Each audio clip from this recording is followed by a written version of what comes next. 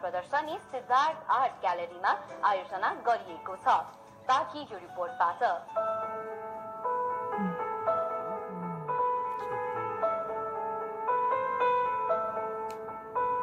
रेमिनिसेन्स twenty nineteen कला प्रदर्शनी राजधानीको बबर महल स्थित सिद्धार्थ आर्ट ग्यालरीमा आयोजना गरिएको छ।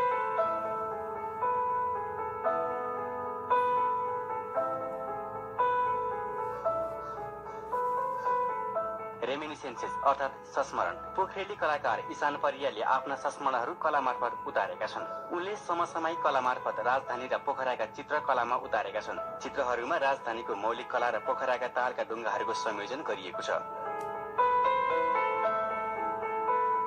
चित्रहरूमा मासिँदै गएको सम्पदा संरक्षण गर्नुपर्ने धारणा दुई हजार बहत्तर सालको महाभूकम्प पश्चात सम्पदा अतिक्रमण भइरहेको कुरा दर्शाउन खोजिएको छ।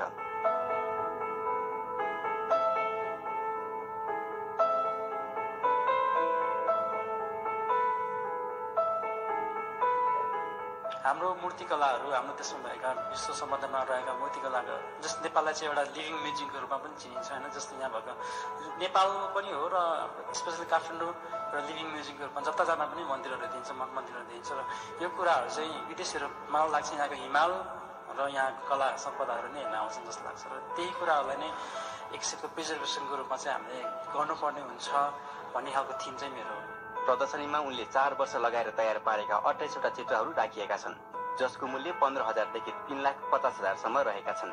जेठ उन्तिसबाट सुरु भएको प्रदर्शनी असार चौबिस गतेसम्म जारी रहनेछ। प्रदर्शनीमा ड्रइङ र पेन्टिङ चित्रहरू समावेश गरिएका छन् जसलाई उनले क्यानभासमा एक्रेलिक पेन्टिङ मार्फत उतारेका छन्। परियारको यो पाँचौं चित्रकला प्रदर्शनी हो। यसअघि उनले देश तथा विदेशमा विभिन्न चित्रकला प्रदर्शनी आयोजना गरिसकेका छन्। जब भुइँचालो गयो त्यसपछि कतिपय मूर्तिहरू कतिपय मन्दिरमा भएको सम्पदाहरू चाहिँ एकदम लथालिङ्ग थियो नि। त्यो खालको देखेर आफूलाई एकदमै के भइरहेको छ के हुनुपर्ने हो जस्तो लाग्यो। कतिपय कुराहरू चोरी निकासी पनि भयो होला त्यतिखेर। र कतिपय जस्तै धरेर भत्किँदाखेरि कति इँटाहरू चोरी हुने त्यस्तो खालको भइरहेको तर यो कुराहरू चाहिँ राइट टाइममै कन्जर्भ गर्नुपर्छ भन्ने चाहिँ मेरो थिम। त्यतिखेरदेखि नै सुरु भयो।